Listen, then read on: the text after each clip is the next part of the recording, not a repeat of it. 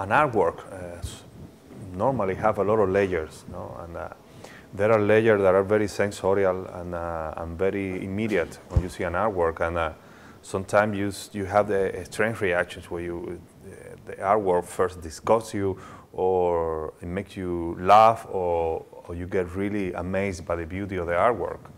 But then there, is, there, there are these other layers that uh, probably are more uh, psychological sometimes and sometimes are more social uh, or sometimes they are even political. And, and, and, um, and uh, when you go through all this uh, level in an artwork, it's when you getting really close to the, um, to the idea of really enjoying an artwork.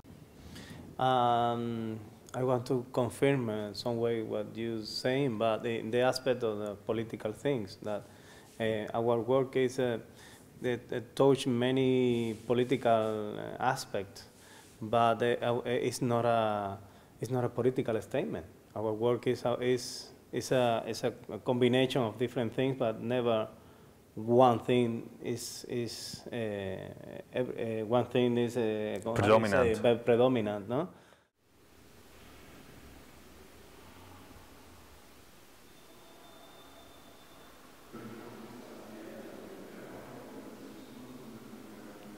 From the beginning, we were very focused to make everything by us. The, if we don't fabricate the things by ourselves, have been only practical reasons but our dream is to to make it uh, for us everything.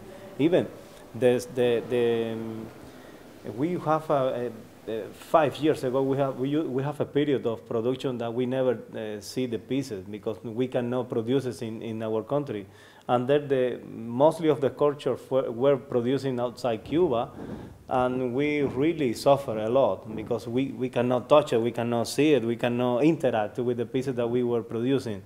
And I think uh, the, the, the, the decision to move the studio from Havana to Madrid has to be with, with this uh, matter, to, to, to touch the production that we made, to control it by, by ourselves in some, some way.